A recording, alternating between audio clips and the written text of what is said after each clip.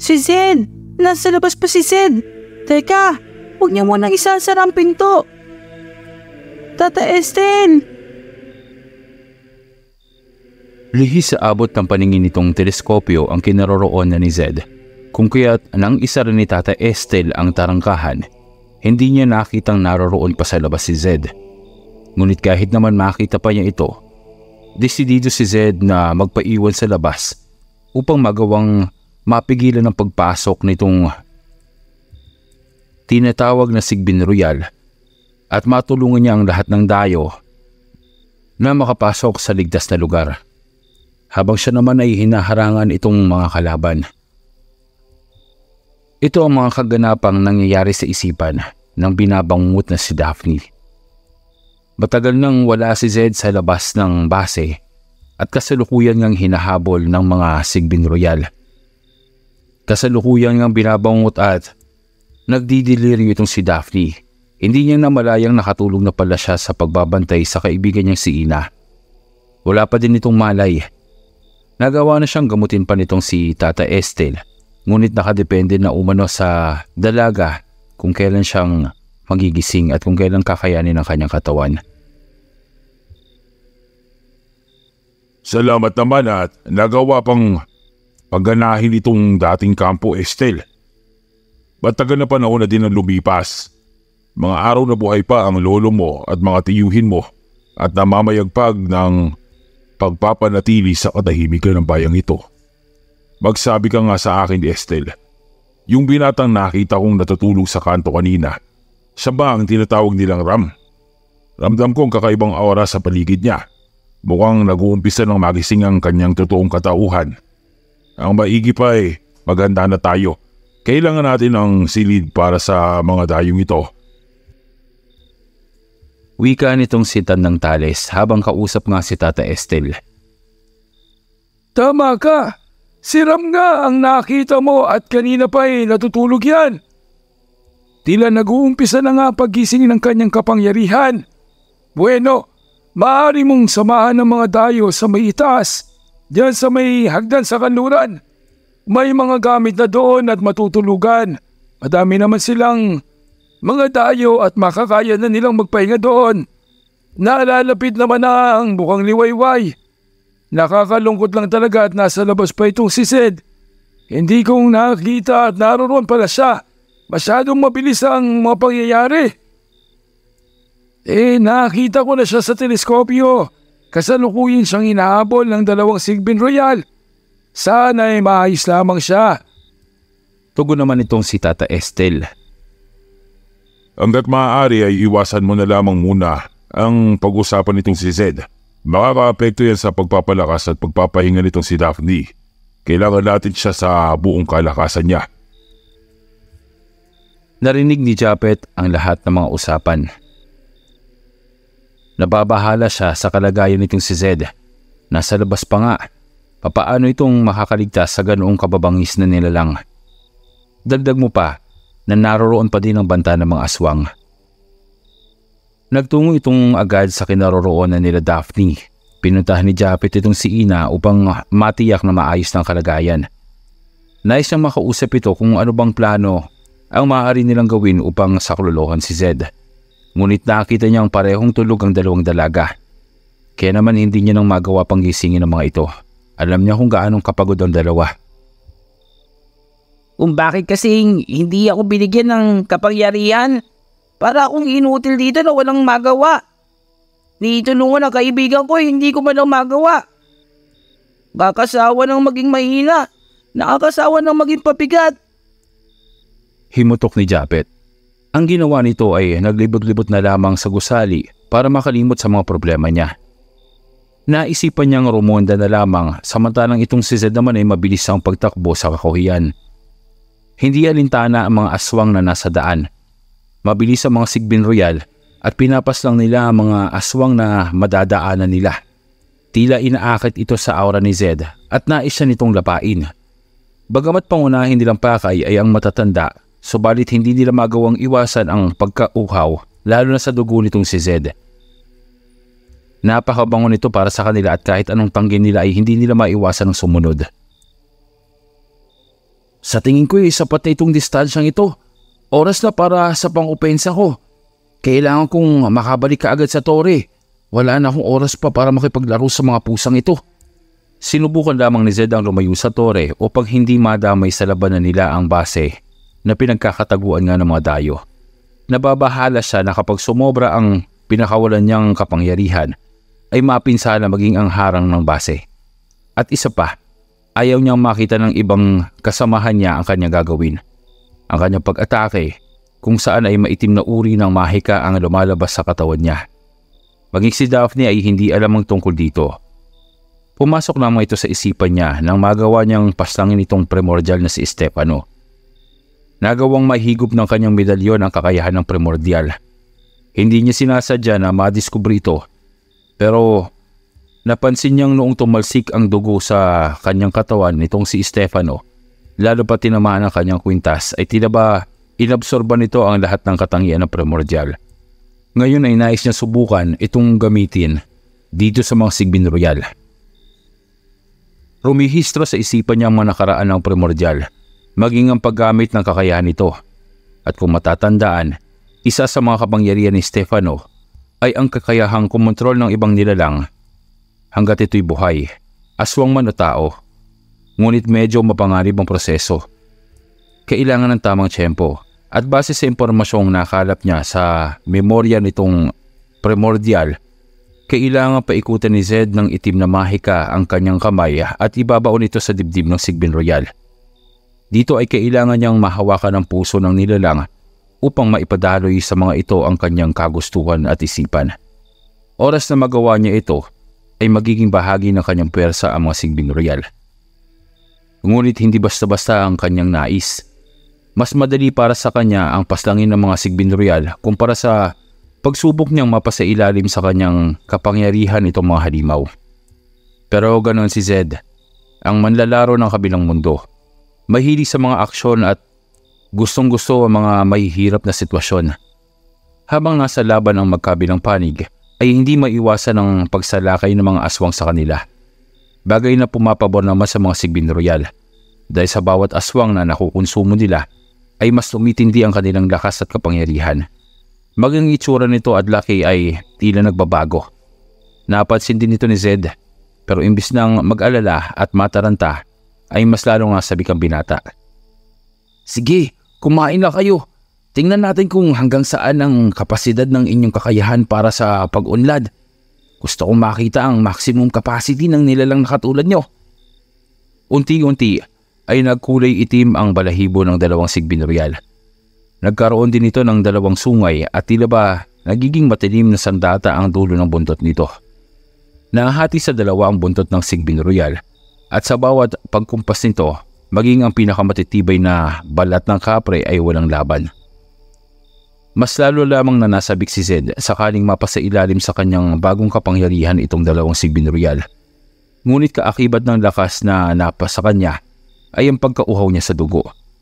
Kinakailangan niya ng dugo upang maipagpatuloy ang kanyang paggamit sa kapangyarihan ng primordial na si Stefano. Tama nga ako. May kakaibang Kaakibad na kabayaran ang paggamit ko sa kakayahan ng aswang na yun. Ngayon eh, paano bang magagawa ng paraan to? Eh, nakakadiri ang mga aswang na nandito. Ang babaho pa. Paano kung sisipsipin ang dugo nila? Nag-iisip si Zed kung ano ba ang gagawin niya. Nang biglang tumambad sa kanya ang tatlong sagumayon na nasaan yung tao. Mga nagagandahang dalaga ito. Mga aswang na may mapandin lang na anyo. Pilit na ginagamit ng mga ito ang hipnotismo kay Zed. Tignan mo nga naman ang pagkakataon kapag siniswerte nga ako. Magkahalong Zed at Stefano ang nasa utak ng binata. Tila isang diablo ang ora nito lalo pa nang makita ang mga sagumayon. Ni hindi inasahan ng tatlong aswang na sila ang magiging biktima bago ang pagsikat ng araw. Mabilis pa sa kisap mata nang lapitan ni Zed ang isa sa mga sagumayong ito. Hawak ang kamay nito ay buwelong ibinaon ni Zed ang kanyang papatubong pangil sa lieg ng sagumayon. May dalang lason ang pagkagat nitong si Zed upang maparilsa ang katawan ng aswang. Kaya nga hindi nagawang manlaban ng nilalang. Nang hina ito at nagpaubaya sa pagsipsip ng dugo. Ngunit bagamat labis ang pagkauhaw ng lalaki, ay nasa katinuan pa din siya ng kanyang isipan at nagawa niyang huminto sa pagsipsip ng dugo bago pa man huminto ang puso ng sagumayon. Dito niya nang sinubukang una ang kanyang kakayahan. Marahan niyang ibinaon sa dibdib ng aswang ang kanyang kanang kamay at inabot ang puso nito. Marahang ipinadaloy niya ang ora na nagmumula sa katawan niya at segundo nga lang ay nangisay nga ang sagumayon. Pagkatapos nito ay muli itong bumangon sa anyang tao nito at sa ilalim na ng kontrol ni Zed. Epektibo nga. Akala ko eh, guni-guni ko lang yung pumasok sa isipan ko. Pero ano namang magiging silbi ng kagaya niyang uri ng aswang? Di. Baka magkasilbi rin siya sa kalaunan. Hindi marunong magsalita ang sagumayon. Bagamat nakakaintindihan man ito ng mga salita ni Zed. Tanging si Zed lamang ang may kakayahang kumonekta sa mga sagumayong ito sa pamamagitan ng isipan kung saan direktang ang naiintindihan ng Sagumayon ang kanyang mga nais. Ngayon ay dalawa na silang laban sa mga Sigbin Royal na noon ay nasa limang ulit ng laki kumpara sa normal na tigre. Kumikinang naitim ang mga balahibo nito at tuluyan ngang lumitaw na mga sungoy nito na halos nasa may dalawang metro ang haba. Alanganin si Zed, papaano niyang maabot ang puso ng ganitong kalaking halimaw. Ang sakit niyo naman sa ulo, Paano ko ba kayong mapapaamo? Malaking tulong sana kayo. Ay, paano ba to? Nauubusan na ng pasensya si Zed at gusto niya na lamang na tapusin itong dalawang sigbin royal. Subalit ang maunawaan ng sagumayon ang kanyang kagustuhan, ay kinuusap nito si Zed sa pamamagitan ng isipan. Napag-alaman ng binata na may kakayahan ang isang sagumayon na gawing malatubig ang anumang hawakan nito gamit ang kanyang kaliwang kamay at kung magagawa nilang lapitan ng sigbin at patumbahin, hindi silang mahihirapan upang abutin ang puso nito. Sabi na nga ba, aba at may may tutulong ka talaga sa akin. Sige, yun ang gawin natin. Umanda ka na. Mabilis ang pagtungo ni Zed sa mga sigbin royal. Labis naman ang pagbawala nito mga halimaw at anumang mga nasa paligid nila ay winawasak. Bumelo si Zed. Nag-ipon siya ng enerhiya sa kanyang kamay at paa upang mapatumba ang isang sigbin royal. Gulat pa si Zed nang makita niyang kaya ngang pasunurin nitong sagumayon ang mga baging at ugat sa gubat. Agad na kumapit ito sa mga paa ng sigbin royal kung kaya't hindi nito nagawang tumalon upang maiwasan ang atake ni Zed. Malakas ang natamo nitong pinsala mula sa suntok nitong binata na halos nga magpawala ng malay nito. Ngayon na, bilis! Utos nitong si Zed Agad namang kumilos itong sagumayon at hinawakan nga itong sigbin. At iglap nga lang ay tila naging anyong tubig ang buong katawan nitong sigbin royal. Nagawang pasukoy ni Zed ang puso nito bagamat nahihirapan siya at halos nasa loob na siya ng katawan nitong nilalang.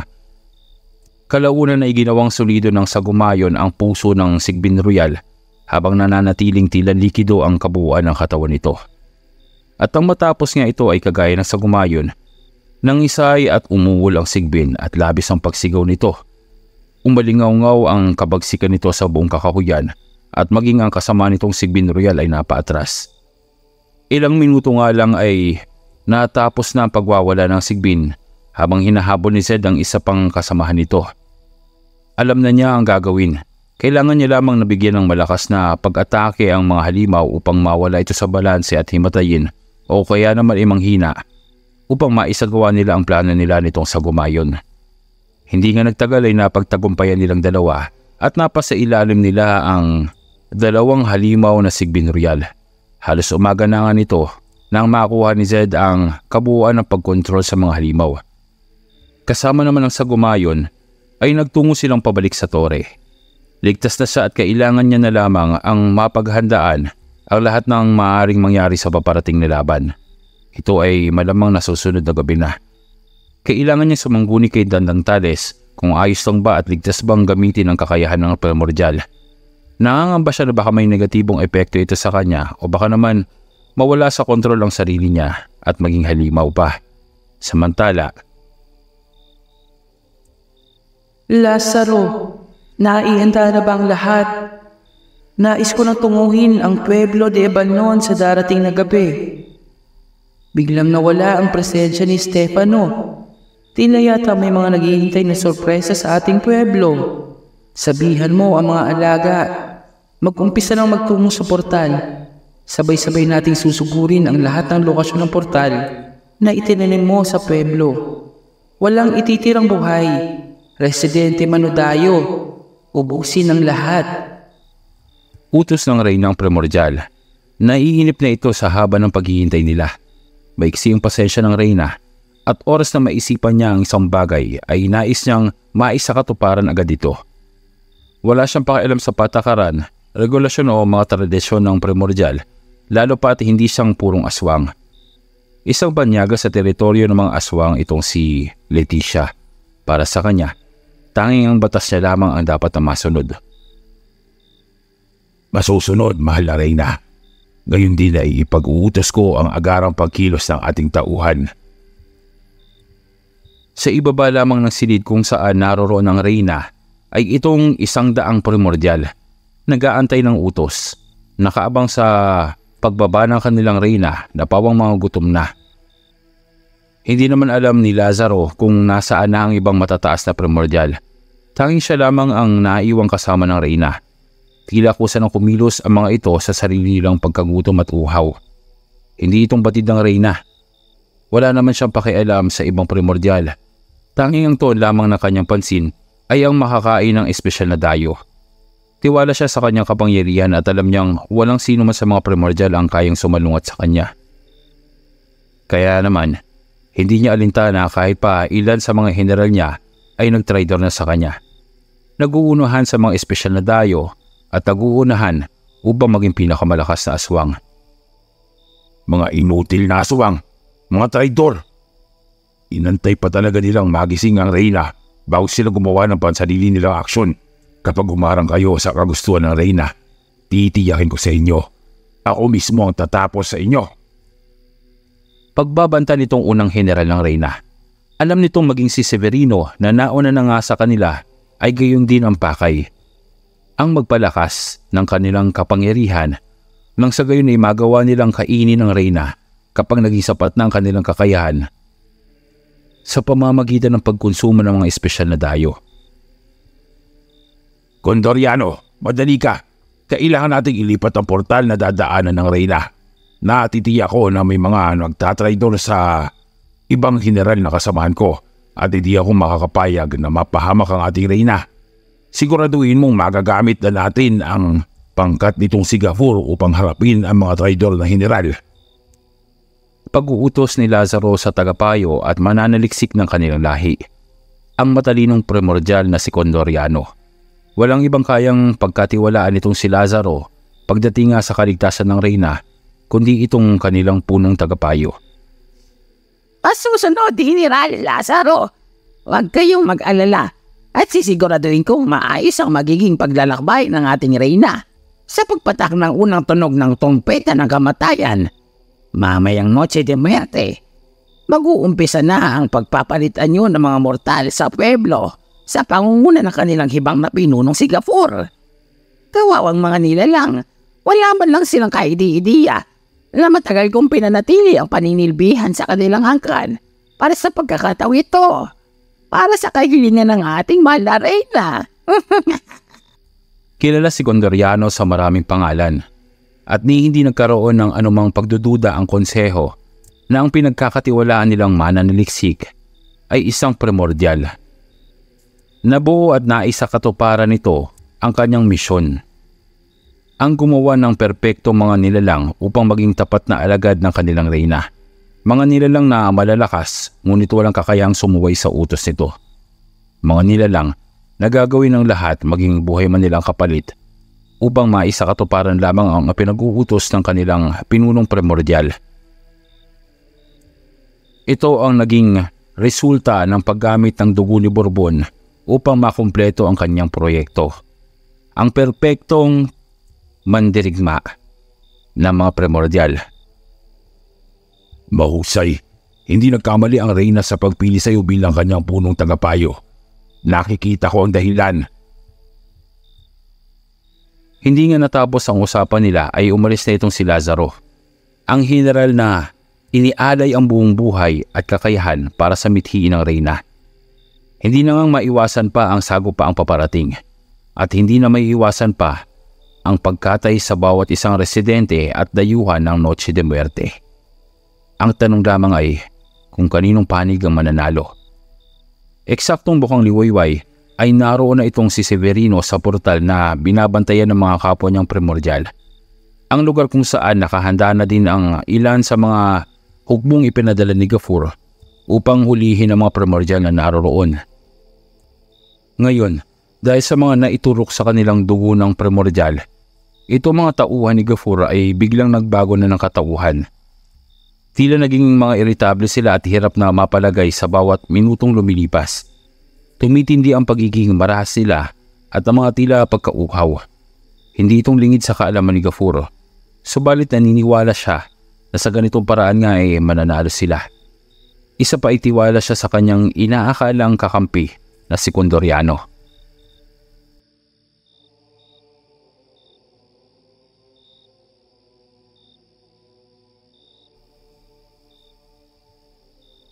Malapit na ang tagumpay ko. Mapapasa akin na din ang teritoryo ng mga aswang. Mas mapapalawak ko ang mga nasasakupan ko. Isusunod ko na ang mga pesting karating bayan na walang ginawa ko di ang maliitin ng pueblo ko. Maya-maya ay dumating itong isa sa mga tauhan niyang inutusan niya. Duguan nito at tila ba naghihingalo na. Pinunong Gafur, dumating na po ang primordial sa portal. Hindi po namin inaasahan ang lakas niya. Buti po ang bantay sa portal.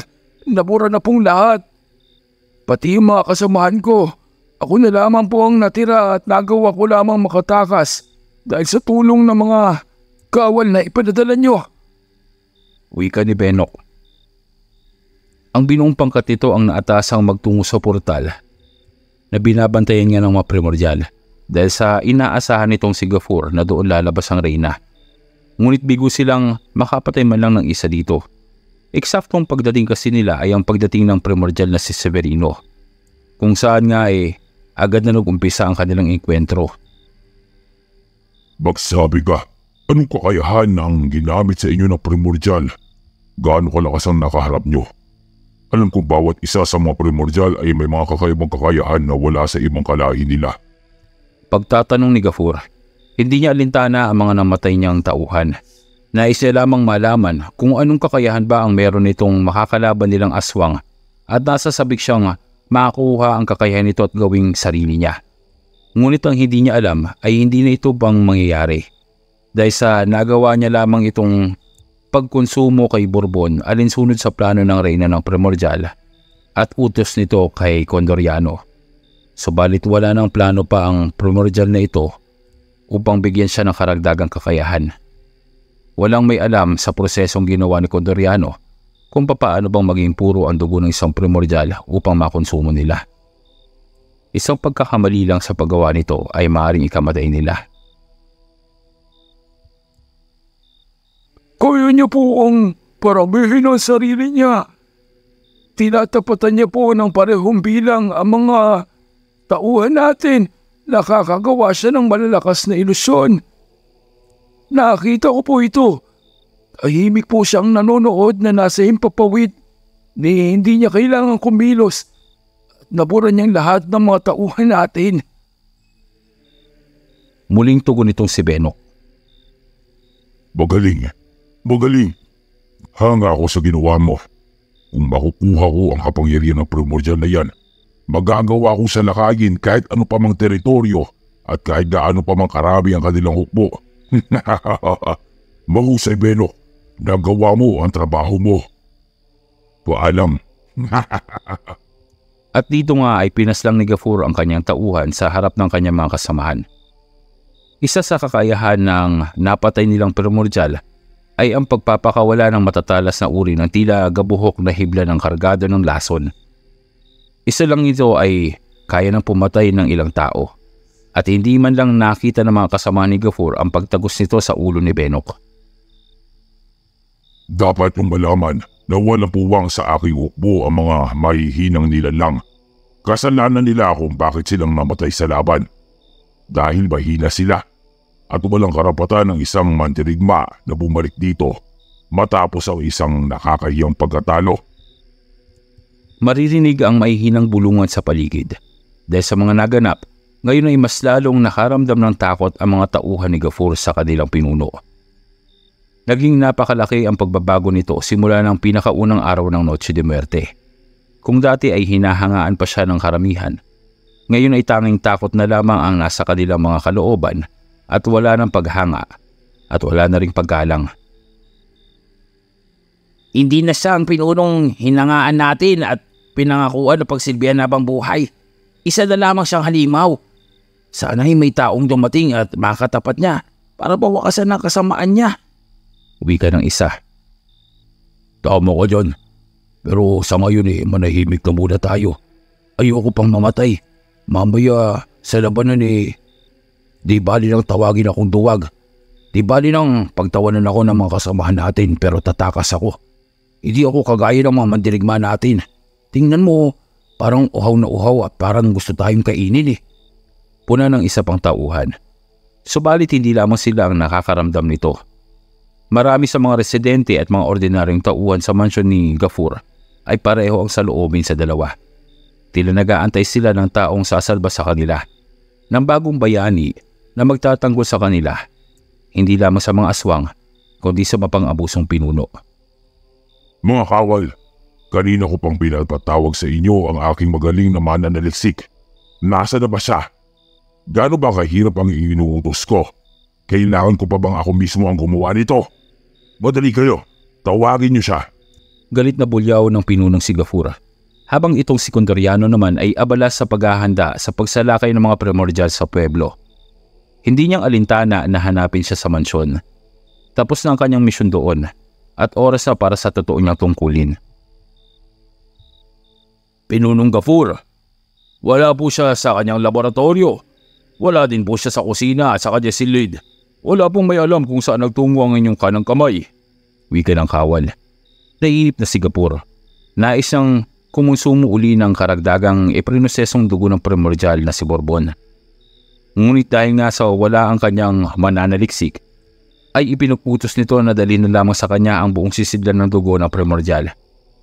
Tumabo siya ng isang baso na puno ng dugo dito at direkta itong ininom. Uhaw na uhaw siya. Hindi niya malaman ang kailangan niyang gawin at maging ang dugo ng primordial ay hindi mapawi itong pagkauhaw niya. Nang biglang maramdaman niya ang pulso ng dalaga na tagasilbing nasa harapan niya. Kasalukuyan itong hawak ang isang telang pabuna sa dugo ng kanyang bibig. Naamoy niya ang samyo nito at hindi nakapagpigil. Mabilis niyang hinawakan ng dalaga sabay sagpang salig nito. Mm, ang sarap nito. Ito ang hinahanap ko. Ang sarap. Ah, napakasarap. Hindi pa nakontento ang pinuno at binuka nito ang dibdib ng kawawang dalaga. Sinubsob nito ang mukha niya sa loob ng katawan ng dalaga at pinagpiesta ng puso at iba pang lamang loob. Nagbabagang pula ang mga mata ni Gafur at nag-uumpisa ng maglabasan ang mga balahibo nito. Ngunit nang mabusog na siya sa kinakain niya, ay bigla itong kumalma at bumalik sa dating itsura. Halos mga tog ang tuhod ng ilan sa mga tauhang naroroon. Tanging ang mga mandirigma lamang niya ang walang reaksyon sa ginawa nitong pinuno nila. Ngunit ang mga ordinaryong utusan at alipin ay labis na ang takot at nais na lamang na tumakas sa mansyon. Walang pakialam si Gafur dahil ang mahalaga sa kanya na wala ng pagkauhaw at pagkagutom niya. Mga pakiramdam na hindi niya kayang tustusan ng mga ordinaryong pagkain at inuming idinudulot sa kanya. Tao. Isang buhay na tao ang hinahanap ng kanyang sikmura. Hindi aswang at hindi kung ano paman. Isang purong tao ang kailangan ng kanilang uri. Ng uri ng mga nilalang na nagmula sa primordial. Ang halimaw na pusang si Bourbon. Nararamdaman ko ang iba yung lakas, lalo na sa pagkonsumo ng dalaga.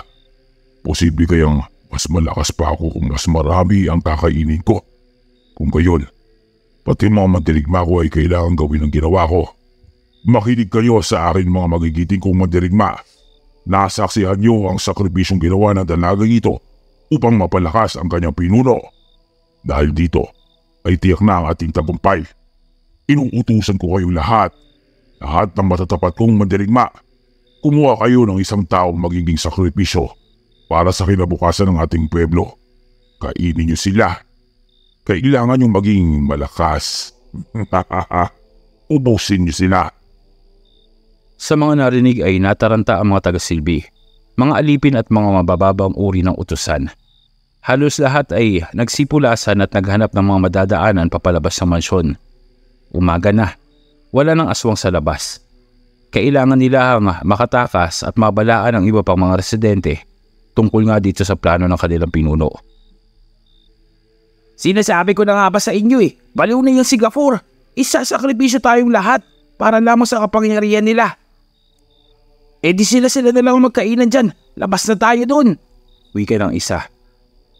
Hindi, hindi tayo ligtas sa bayan. Tiyak na magtutungo doon ang mga mandirigma ni Gafor para kumuha ng mga makakain nila. Kailangan nating maabisuan ang mga kasama natin. Kailangan natin sumugal patungo sa kabilang bayan. Tapos na ang peblong ito. Wala nang kinupukasan pang naghihintay sa atin sa bayang ito. At dito nga ay nag-umpisa na silang mag-aklas. Nagpaplano upang tumakas at magtungo sa karatig bayan at umaasang doon ay makakasumbong sila ng kaligtasan. Hindi kabaitan ang mga nasa katabing bayan nila pero hindi ito kasing lupit ng kanilang pinuno. Kahit maging taga-silbi sila doon ay matitiyak nilang ligtas sila at maging ang kanilang buhay. Hindi sila basta-bastang lalapain na lamang ng amo nila. Ngunit hindi magiging madali ang kanilang gagawin dahil nga sa dadaan sila sa delikadong gubat. At tiyak na tumakas man sila ay hahabulin sila ng mandirigma. Walang garantiya na lahat sila ay makakaligtas. Pero ang mahalaga, may makaligtas. Habang sa bahay naman nila Restel, Denise, handa ka na ba? Nakahanda na rin ako. Inaantay ko na lamang yung hudyat nyo. Hanapin na natin sila Zed. pag-aaya ni Chikoy sa mga kasamahan niya. Handa na din ako. Inaantay na lamang natin sila ginoong Ristel. May pinag-uusapan lamang sila nila Ate Miliel. Naroon sila sa kwarto. Maraming salamat dito Mang Chikoy ah. Malaking bagay ang pagsama mo. Sana lang iayos lang talagang sila Zed. Wala sanang napahamak sa kanila. Sambit naman ng dalagang si Denise. Mag-iingat kayo sa gagawin nyo. Pangunahin mong prioridad ay ang masiguradong ligtas sa mga bata. Iuwi mo sila dito ng buhay, Ristel. Wika ni Meliel sa lalaki. Gagawin ko ang lahat. At saka, umaga na. Mas mataas ang tsansa naming makita sila. Huwag kang mag-alala at babalik kami dito bago pa man magtakip silim. Ikaw na munang bahala dito at sa dalawang dayong maiiwan. Tugon naman itong si Ristel. Sakaling malagay kayo sa alanganin at sakaling wala nang iba pang pagpipilian, alam mo na ang dapat mong gawin. Kahit ano pa yan, ang importante ay makabalik kayo dito ng buhay. Malinaw ba? Wika pa ni Meliel at tango na lamang ang itinugon nitong si Ristel. Maya-maya ay sa sala naman kung saan naghihintay sila Denise at Chikoy. Handa na ba kayong dalawa? Umpisahan na natin ang maglakad. Kailangan nating matuntun sila Zed bago pa man magtakip silim. Tandaan nyo, oras na sumapit ang tanghali ay babalik tayo dito sa bahay. Makita man natin sila o hindi. Malinaw ba? Kailangan ko masigurado ang kaligtasan nyo at ni Miliel. Kaya huwag kayong gagawa ng mga padalos-dalos na desisyon. Naunawaan niyo ba ako? Opo, Ginoong Ristel. Huwag ho kayo mag-alala at makikinig kami sa inyo. Nag-umpisa nga silang maglakad.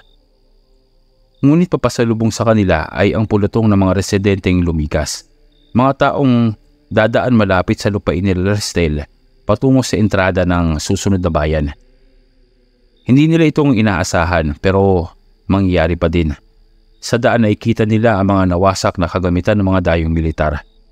Ngunit wala na ni isa mang bakas ng tao dito. Tanging mga tilamsik na lamang ng dugo ang naroroon at ilang mga nag-aapoy na sasakyan. Labis ang lagim na naganap at pinagdarasal nga ni Denise na sana ay hindi kasama doon na nasawi si Zed. Tara na! Wala nang pag-asa ang kampo nila at natitiya kong walang nabubuhay dito. Ang mabuti pa eh magpatuloy na tayo sa paglalakad at sayang ang oras natin. Huwag na tayong pahintu-hintu pa. Wika nitong si Ristel. Sandali, baka makatulong sa atin itong mga granada at baril na naiwan. Kumuha ng tag-isang armas itong si Dinis at Chikoy. Mga matataas na kalibre ng baril at iilang pasabog habang si Ristel naman ay nakamasid lamang. Matapos ito ay muli na silang nagtuloy sa paglalakad patungo sa bayan. Naisilang kumalap ng impormasyon doon at naisip nga nilang tunguin itong si Tandang Tales o si Tata Estel. Mga matatandang nahawikan ni Zed na balak niyang puntahan. Ni hindi nila alam na wala ng tao doon at kamatayan na lamang naghihintay sa kanila. Subalit habang naglalakad nga sila ay nasa lubong na nila itong grupo ng mga tao. Napakarami at nakaramdam ng kilabot si Denise sa mga nasaksihan. Ginoong Ristel, ang mga residente ng pueblo, anong ibig sabihin nito? Tanong ni Denise pero maging si Ristel ay nanatiling tahimik at tila nag-iisip. Nang makalapit naman ang mga lumikas na residente, Mawalong-galang na po sa inyo. Pero maaari po bang magtanong kung anong nangyari at saan po kayong patungo? tanong ni Chikoy. Basag na ang peblo. Wala nang pag-asa pa ang naghihintay para sa mga residente nito. Kung mananatili kami sa lugar na yon ay kamatayan lamang ang sasapitin namin. Naging ganit na ang konseho at ang pinunong si Gafur ay sa mga tauhan ng manson.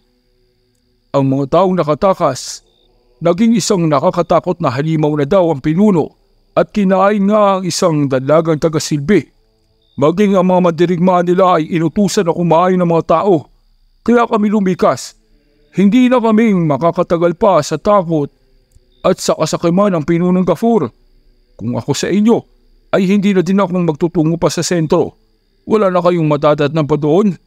Baka kayo pa ang makasalubong ng mga mandirigma at kainin. Bumalik na lamang kayo kung saan kayong nanggaling.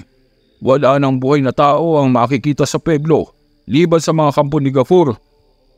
Pagbababala naman itong isang residente. Kita nila ang takot at lungkot sa mga mukha nito at ang sakit at lungkot na nararamdaman nila. Nalilisanin na nila ang bayang matagal nilang inalagaan at minahal. Pero alam nila na mawawalang silbi ang lahat kung mamamatay lang din naman sila. Anong gagawin natin, Denise? Tila yata wala tayong mapapala sa sentro ng bayang ito. Saan pa natin uumpisang hanapin sila Zed? At yung si Tata Estel at sinasabi mong si Tandang Tales? Pagtatanong ni Chikoy, hindi naman sinasadyang marinig ito ng isa sa mga bantay ng pueblo. Ang taong tumulong kay Tata Estel upang makatakas. Lumapit ito kay La Denise. Waong manhin, narinig ko ang usapan niyo tungkol kay Tata Estel. Tila hinahanap niyo siya. Tanong ng bantay. Nawawala kasi ang mga kaibigan namin at isa si Tata Estel sa naisip naming pupuntahan ito. Narito po ba siyang kasama niyo? Kasama niyo po ba si Tata Estel? Tanong ni Denise habang tinitingnan nga ang mga naglalakad paparating sa kanila o kung makikita ba itong si Tata Estel. Pasensya na kayo, pero wala siya dito. Nauna na siyang tumakas bago pa mang mangyari ito ang lahat. May utos kasi mula kay Gafur na kunin at hulihin siya. At itong si Tandang Tales. Kaya naman naunang tumakas na ang matanda at ang apo niya at maaari siguro eh pumunta sila sa patungo sa kakahuyan. Sana lang eh nakaligtas sila laban sa mga aswang. Sumabay na kayo sa amin pagtungo sa karating bayan. Hindi nila tayo masusundan doon. Hindi silang hahayaang makapasok ng mga tagapagbantay ng porta sa lutis. Wika ng bantay. Ang porta sa lutis o tarangkahan ng kaligtasan. Ito ang tawag sa daanan papunta sa kabilang bayan. Lugar na maigpit na binabantayan ng makapangyarihang mga gwardya. Sinasabing kahit pa mga primordial ay hindi kayang dumaan dito. Sagrado ang tarangkahan, malaki at ingrande ang pagkakagawa, ngunit mabagsik laban sa mga masasama. Maraming salamat sa impormasyon at natutuwa din kami sa alok nyo. Pero kailangan po naming mahanap ang mga kasamahan namin. Hindi namin sila maaaring iwan. At matapos nga ito ay umalis na din itong sila Denise. Napagpasya nila na sa kakahuyan na magtungo sa halip na sa bayan dahil nga sa mga nalaman nila. Malaki ang tsansa na nakaligtas ang mga hinahanap nila kung sa kagubatan nga nagsuot ito. Mas mainam na dito na tayo sa gubat dumaan. Mas ligtas dito at makakabalik agad tayo sa aking lupain. Pero mag-iingat kayo, hindi mabait ang gubat sa mga tao. Babala pa ng lalaki. Ngunit tanging si Zed lamang ang nasa isip ni Denise at tila ba hindi niyang alintana ang mga panganib. Ordinaryong dalaga si Denise, walang kakayahan sa pakikipaglaban, mahina ang katawan, pero sa kabila nito ay handa siyang harapin ang lahat ng panganib. Makita lamang si Zed. Dahan-dahan lang, Denise. Mahirap nang magkahiwalay tayo dito sa lugar na to. Huwag mo kalimutang may mga kasama ka. Wika naman ni Chikoy dahil nga sa patakbo na itong si Denise patungo sa kagubatan. Samantala, habang nasa ganitong sitwasyon ang pangkat nila Denise, kasalukuyan namang naiayos na ng mga dayo ang kanilang sarili sa loob ng base. Walang may gustong lumabas pa dahil nga sa alam nila na hindi lamang mga aswang ang banta sa buhay nila, kundi ang mga halimaw na hindi nila maisip kung papaanong nabuo. Isa pa ay sumusunod sila sa payo ni Tandang Tales na manatili na lamang doon. Mayroong sapat na pagkain para sa kanila na tatagal hanggang sa matapos ang Noche de Muerte. At wala silang hahanapin pa. May maayos na daloy ng tubig, may matutulugan, at may solidong proteksyon laban sa mga aswang. Daphne, mabuti pa ilipat yun na ng maayos na higaan itong kaibigan nyo. Ikaw din, ipagpatuloy mo na ang pagpapahinga mo doon sa kabilang silid. Kami na bahala dito. Wika ni Tata Estel. Kasalukuyan silang may pinag-uusapan nitong si Tandang Tales. Kaya naman mas gugustuhin nila ang walang ibang makakarinig dito. Dahil nga dito ay inakay nila Japet at Lorenzo katulong sila Sanchez at Santos, itong sila Daphne. Pinagtulungan nilang mabuhat naman si Ina na noon ay wala pa ring malay at maging itong siram na napakasarap pa rin ng tulog. At ang mabakante nga ang kwarto. Magandang araw sa inyo mga kabantay. Kung nakaabot ka na sa parteng ito ng video, siguro po ay nagustuhan nyo ang ating kwento. At kung magkagayon po, sana po ay makalambing naman sa inyo at makapag-subscribe kayo sa ating channel. Pakiclick na rin po ng notification bell at piliin natin ang all sa option nito para manatili kayong updated sa ating mga kwentong inilalapag. Huwag din po nating kalimutang mag-iwan ng komento kung ano po bang sa loobin natin sa mga nangyari at naganap sa ating kasaysayan ngayon. Maraming maraming salamat at balik na po tayo sa ating kwento. Estel, mahusay ang ginawa mo dito. Pero alam mo na siguro ang mga nagaganap sa labas at ang tungkol sa propesiya. Tanong ni Tandang Tales. Batid ko ang pagbangon ng reyna ng primordial. At kanina nga ay nakita kong nagsilikas na ang mga residente ng pueblo. Tila isinakatuparan ni Gafur ang kanyang plano upang kumain ng primordial. Batid ko na may banta na din sa kaligtasan ng mga residente. Isa pa, wala na silang mapagtataguan pa sa ilalim. Hawak na ng mga aswang ang syudad sa ilalim.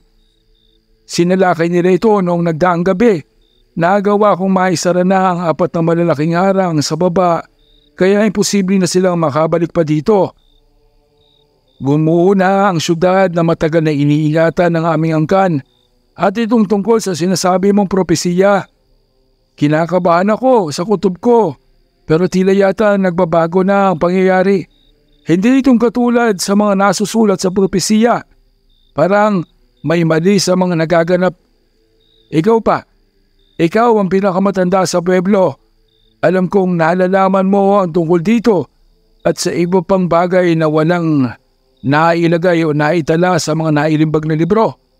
Ano bang masasabi mo sa kasalukuyan nating sitwasyon? Walang may alam sa totoong edad nitong si Tandang Tales. Ang nalalaman lamang ni Estel, bata pa lamang siya ay matanda na itong si Tandang Tales. Kaya naman batid niyang marami itong nalalaman at hindi pa sinasabi sa kanila. Ang mahalaga Estel, ligtas na mga dayo dito sa base. At magagamit mo ang nasa buslo nitong dalagang si Ina, yung kaibigan nila Daphne. Naniniwala akong nakita ko doon ang mineral mula sa mga aswang.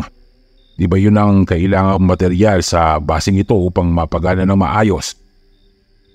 Mahina na ang depensa at hindi itong tatagal sa mga atake ng susunod pang gabi. Lalo pa at kung may mga primordial silang kasama. Sayang lang talaga at hindi nadala ni Zed ang puso at utak ng nakalaban nilang primordial. Solido sana ang depensa nyo. Magtatagal ito ng ilang milenya.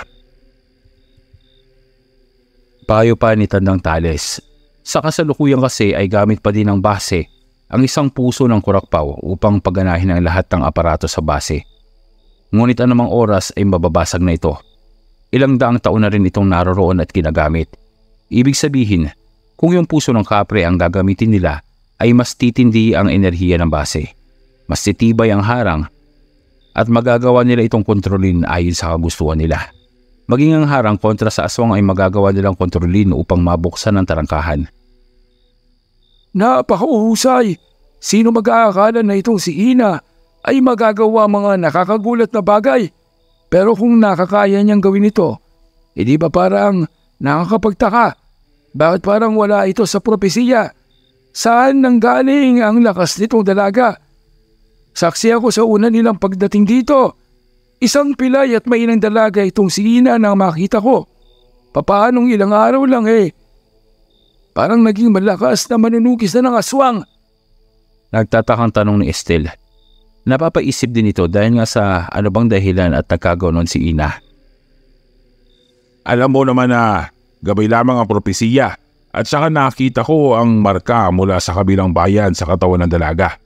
Maaring ang kakayaan niya ay hindi mula dito sa pueblo. Tila yata mga taga-kabilang bayan ang mga nagligtas sa kanya. Ilang dekada na din ang nakakaraan ng may umusbong na balita tungkol sa mga pangkat ng mga mersenaryo na pumapasok sa ating pueblo ng palihim. Ito ay mula sa kabilang bayan upang manghuli ng mga aswang. Ibinibenta nila ang mga mineral mula sa mga napapatay nilang aswang dito sa pamunuan ng kabilang bayan. Ito marahil ang dahilan kung bakit kailanman eh hindi magawang pasukin ng mga primordial ang kabilang bayan dahil sa enerhiya ng mga aswang na ginagamit nila para sa teknolohiyang pangharang. Mahabang saad ni Tales. Kung gayon, lubos na napapakinabangan nila ang teknolohiya na nagmula sa ninuno ko. Sayang lang at hindi kapareho ng pag-iisip na pinuno nila ang pinuno ng bayang ito. Di sin sana ipayapa ang buhay ng mga taga-pueblo. Masyadong nabulagan sa kapangyarihan ng mga aswang ang kanigafur. At ngayon nga eh, Inaani niya na ang bunga ng kasamaan ng kanyang pamilya. Galit at nangihinayang na wika ni Estelle. Estelle, hindi mo masisisi ang mga yan. Maiksi ang buhay ng mga mortal at natural na ang maghangad sila na subukang dugtungan ng kanila buhay. Ang maging isang immortal na hindi tumatanda. Hindi katulad mo, ang angkan mo ay may mahabang buhay at mas mabagal na pagtanda Maiksi na para sa inyo ang tatlong siglo ng pamumuhay sa mundo. Hindi katulad ng mga normal na tao, kagaya nitong sila Gafur. Maswerte nang umabot sila ng 80 sa edad. Ang pagtuunan mo na pansin ay ang pananatiling ligtas ng mga dayo sa basing ito. Mamayang gabi ay magaganap na ang paghahatol. Bababa na dito ang reynang primordial. Sa kauna-unang pagkakataon, sa loob ng ilang siglo, ay makikita ng pueblo ang bagsik ng mga primordial. Malalim sa pag-iisip itong si Estelle. Ano nga bang ibig sabihin ni Tales? At ano ang naghihintay na kapalaran para sa pueblo at sa mga dayo? Nandito ay tinawag sila ni Daphne. Tandang Tales, Tate Estelle, gising na po si Ina. Sigaw nito kaya naman naputol ang usapan ng dalawa at tinunga itong dalaga. Hilo pa ito at sinusubukang maalala ang huling nangyari sa kanya. Kita nito sa harapan niya itong si Lorenzo at sila Sanchez. Kaya naman bigla siyang nag-alala. Anong nangyayari? Teka, nasaan ako? Dapat patay na ako kanina sa labanan namin ng Primordial. Sino kayo? Wika ng dalaga nang bigla namang magsalita si Daphne. Ina, I can't believe it's really you. All this time, akala ko patay ka na. Akala ko ikaw nang kinain ng rakba doon sa bukana ng kuweba. Anong nangyari sa'yo? At saka bakit ka mag-isang nakikipaglaban sa mga aswang kanina? Ang laki ng pagbabago sa'yo. Ilang araw lang naman ang lumipas ha. Naluha si Ina. Maging siya ay akala niya patay na itong si Daphne. Dav, ikaw nga. I'm so glad to see you again. Akala ko nanapa ka na ng aswang. Teka, hindi mo naman kasama si Alex, di ba? Nag-aalalang wika nitong sabay ang paglingon-lingon. Nagumpisa sa pagkakwento si Ina. Napag-alaman nila Daphne na nahiwalay nga siya noong hapong papaakyat pa lamang sila sa kuweba dahil kay Alex. Ayon sa dalaga, karga-karga siya nito nang bigla na lamang siyang ihagis nito sa may bangin. Sabay sabi na pabigat lamang siya at gusto niya pang mabuhay. Nagmakaawa ako ng sobra-sobra kay Alex. Pero hindi siyang nakinig. Para siyang demonyo. Nakatitig lamang sa akin at pila walang konsensya. Iniwan niya ako dun, Dap. Walang tumulong sa akin kahit ipa pang mga dayo. Hanggang sa matagpuan nga ako ng pinuno. Sila ang tumulong sa akin. Labis sa mga sugat ko, kaya ipinasok nila ako sa isang silid upang gamutin. At sabi nila ay dalawang araw daw ako natulog. Pero sa isipan ko ay halos mag-iisang taon yata akong nagsasanay sa loob ng silid na yon. Hinasa ang kakayahan ko sa pakikipaglaban. Ganoon ka-advance ang technology nila, Tak.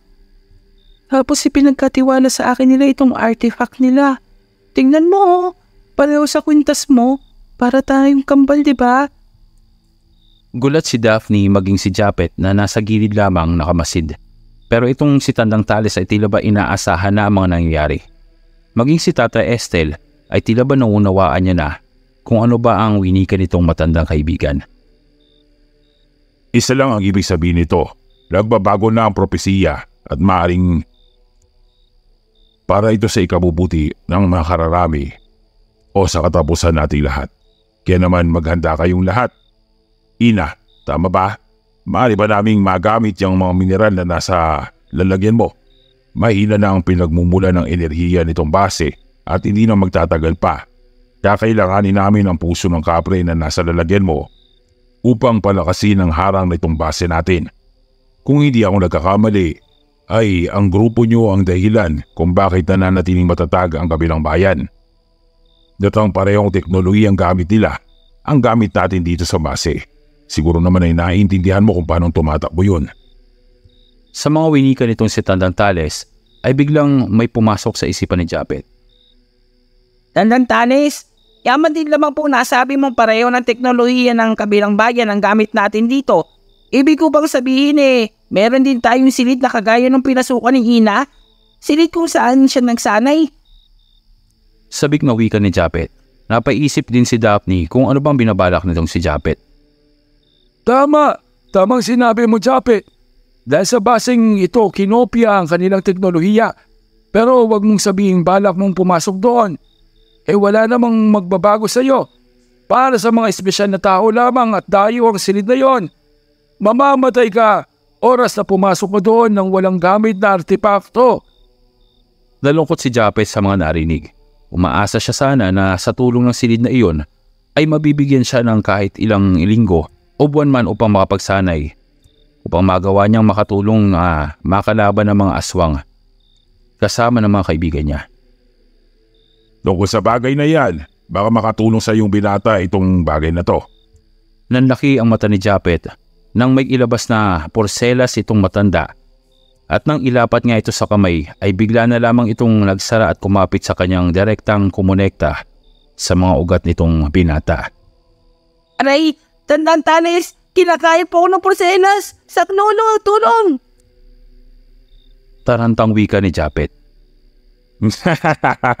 Hindi ka kanyang kinakain. Kumalma ka. Inaangkop ng porselas ang kanyang kakayahan sa may suot nito. Pabayaan mo lamang yan at habang tumatagal yan sa kamay mo, eh lalong maaangkop ito sa iyo. Tiisin mo lamang sakit kung gusto mong lumakas. Sambit ng matanda at ito nga ay tumunog ang alarma ng base. Nakita nila sa labas ang isang sagumayon at dalawang sigbin royal. Nataranta ang lahat. Namutla itong si Sanchez at Daphne. Buong pag-aakala nila ay patay na itong si Zed. Nanlumo sila pero maya-maya lamang ay napatawa si Japet. Oy, si Zed, andyan na. Data Estel, yung pinto, buksan niyo na po, bilis. Pagwiwikan nitong si Japet pero nag-aalangan ang dalawa dahil nga sa may sagumayon doon. Alam nilang kakayahan nito at iniisip nila na baka napasa ilalim na ng kapangyarihan ang sagumayon nitong si Zed kagaya ng nangyari kila Alex. Pero bigla itong nagsalita. Tao po, alam kong nakikita niyo ako. Huwag kayong mag-alala at nasa ilalim na ng kapangyarihan ko ang mga nilalang na to. Wala kayong dapat ikabahala. Sambit ni Zed. Bigla namang kumapit sa braso niya itong makamandag na sagumayon na sobrang ganda at halos wala nang saplot. Dito ay tila umusok ang ilong ni Daphne. Tandang Tanes, Tata Estel, buksan niyo na po ang tarangkahan at kung kalaban man sila, ako mismo ang tatapos sa mga yan. Bilisan niyo po. Teka lang, teka lang naman Daphne, para ka namang asawang nag-uuramentado dyan. Kumalma ka lang. Tata Estel, mukhang si Zed pa din naman yan. Kami na pong sasalubong sa kanya. Wika ni Japet. At dito nga ay ikinarga ni Tata Estel ang puso ng kapre. At sa pamamagitan nito ay gumana na ang lahat ng mekanismo sa base nila. Nabuksan ang tarangkahan. Takot silang lumapit dahil nga sa dalawang napakalaking sigbin royal na halos tila ba mga higante na ito. Walang sinabi ang mga kapre. Ngunit malawak ang loob ng base kung kaya't walang naging problema sa pagpasok nito. May kamustahan sana sila Subalit bigla namang sumabat itong si Tandang Tales. Pasensya na kung aabalahin ko kayo, ngunit makapaghihintay ang pagkakamustahan nyo. Sa ngayon eh, iminumungkahi ko sa inyo na pumasok na muna sa silid na walang hanggan. Kailangan nyong magsanay doon. Kailangan makondisyon ang mga isipan nyo. Lalo na sa paparating lalaban. Iba ang silid na ito kumpara sa pinasok nila Ina. Dito ay mga primordial ang mga kalaban nyo sa pagsasanay. Magtatanong pa sana si Zed kung sinong ina at anong ibig sabihin ni Tandang Tales, ngunit naglakad na itong papunta sa silid at sumunod na nga sila Japet. Lito pa man si Zed ay sumunod na lamang din ito. At dito nga ay nakita nila ang limang tila mga mayahalin tulad sa mga kabaong ng primordial kung saan nga silang natutulog. Mga kapsula. Ito ang sinasabi nilang teknolohiya. Mga kapsula na nakuha nila sa mga primordial noong naroroon pa ang mga bayani. Mahiga na kayo dyan. Bawat oras ay mahalaga. Ang isang oras dito ay gagawin kong isang buwan sa loob ng kapsulang yan. Mayroon kayong anim na oras sa loob ng kapsula, kaya sulitin nyo. Hindi kayo magkakasama sa pagsasanay. Mag-isa kayong haharap sa mga pagsubok at kung mamamatay kayo sa pagsasanay na yan, dapat niyong tandaan na mamamatay din ang katawan nyo. Gulat si Zed dahil nasa akala niya sa mga laro niya lamang makikita ang ganong klase ng teknolohiya pero totoo pala ito sa mundo ng pueblo. At mas nagulat pa siya nang makita niya dito si Ina. Pero hindi niya na itong nakausap pa dahil nga sa nahiga na ito sa loob ng kapsula. Pat pati si Japet at Daphne ay nahiga na rin kung kaya't sumunod na rin siya. Oras na magising itong si Ram ay susunod siya sa pagsasanay. Kailangan nating maihanda kayong lahat mga bata. Kaya gawin niyo ang lahat upang mabuhay sa pagsasanay sa kapsul lang yan. Gabayan nawa kayo ng batala. At dito nga ay unti-unting nagdilim ang paningin ni Zed patungo sa mundo ng pagsasanay. Samantala, nasa loob naman ng kagubatan na sila Denise, kung saan naman ay kasalukuyang naroroon din ang mga mandirigma at sinusubukang sundan ang mga bakas na iniwan ng Sigbin Royal. Kasabay nito ay nasa hilaga lamang nila naroroon ang mga primordial na pinamumunuan ni Severino kasama ang mga bantay na primordial ng portal. Ang tatlong pangkat na ito ay magsasalubong at may ipit sa matinding labanan ng walang kamalay-malay na sila Dinis at Chikoy. Bagalan niyo ang paglalakad ng kaunti. May naririnig akong mga kalasko sa unahan. Kailangan nating maging maingat. Sige na at magpahinga muna tayo sa yungib na yan. Uminom kayo at kumain muna. Tutuloy tayo pagkalipas ng labing limang minuto. Pagwiwika nitong si Restel Bukang ba'y mga kuto ang papasalubong sa atin, mga tuta ng pinuno ng pueblong ito. Huwag niyo nang susubukang pakainin ang mga yan at walang sustansya ang katawan nila. Mga tauhan na lamang sila ng reyna. Pero maaari niyo silang patayin at salakayin. Hindi na silang mahalaga pa. Maliban na lang kung kasama nila ang pinuno nila. Gusto kong makuha ang ulo nito bilang tropeyo. Sisirain ko ang mga laruan ng reyna. Pero hindi mapalagay si Severino dahil nga sa may nararamdaman siyang kakaibang pwersa na nasa direksyong tinatahak din nila. Hindi niya makumpirma kung ano ito. Pero naging dahilan nito para itaas niya ang kanyang mga depensa. Samantala, kumpleto na ang paghahanda ng Reyna at maging sila ay handa na rin sa pagpasok sa bagong portal. Ang portal na ginawa ni Condoriano, direktang lalabas sa bungad ng mansyon ni Gafur. At paparating na nga ang Doce de Muerte na magtatapos sa lahat. Magandang araw mga kabantay at maraming salamat po sa pakikinig nyo. Unang bahagi lamang po ito ng ating huling episode para sa kwento natin ng Bertud. Ipagpaumin niyo po kung pinutol ko po dito dahil nga po sa hindi na po kakayanin pa ng oras. Kung pansin niyo po eh medyo nalita po ang upload natin. Pero sa kinabukasan po ay agad nating isusunod ang ikalawang parte nito. Alam ko pong nangako ako sa inyo na dalawang oras po ang finale. Ang totoo po ay sumobra pa ito sa dalawang oras kaya po hindi natin kinayang i-record ng isahan. Salamat po sa pag-unawa nyo pero bukas sa bukas din po ay isusunod natin ang second part ng finale natin. Comment natin at hulaan po ninyo kung ano magaganap bukas. Excited po ako sa mga sasabihin yung ending kaya naman po pagandahan tayo ng ending. Sa Martes na po natin uumpisahan ang kwento ng Hunyango at tuloy-tuloy na po ito. Medyo napamahal na nga din po sa atin ang kwentong ito pero syempre, laging may dulo po ang kada kwento. Kaya salamat sa pagsuporta nyo sa Virtud ng Kalamansi at ang itim na medalyon. Abangan po ang second part ng finale at muli po ay ito ang inyong tagapagbantay. Maraming maraming salamat.